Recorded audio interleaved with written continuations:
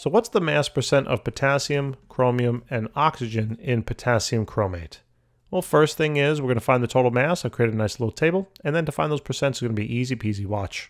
Bam. So the first thing I'm going to do is write down the elements I see. So we got potassium, we got chromium, and we got oxygen. Next is then to identify the number of atoms. That's where the subscripts come into play. So at the bottom of potassium, there's a 2, so that means we got two atoms. Chromium, there's only one. So we got a 1.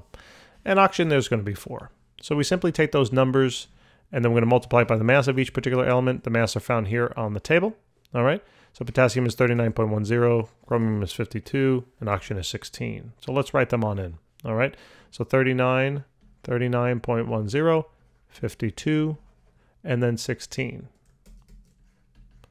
And then to find the total mass of each element in the compound, we're simply going to multiply this row on across. So that's going to be 78.20 for potassium, chromium 52.00, nice and easy. And then the for oxygen it's going to be 64, right? And then all we got to simply do to find the total mass of the entire compound, which is what we're really interested in, we're going to simply just add those on together.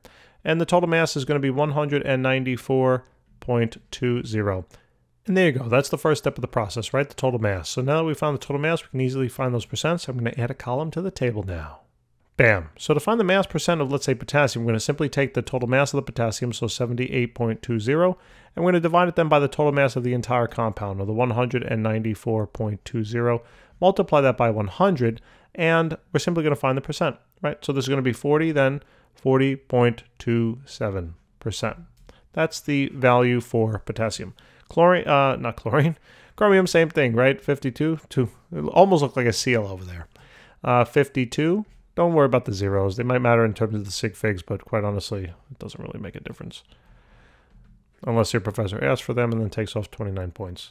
Um, so anyway, uh, when we do this division, it's going to work out to be 26, 26.78%. And there you have it for chromium. And then oxygen, same thing. Total mass of the oxygen, 64 over then 194.20. Multiply that by 100. My handwriting is getting less neat as it goes isn't that that's like one thing I feel like the more you do, the worse it gets, right? I write all day long, and for some reason I can't I can't write to save my life.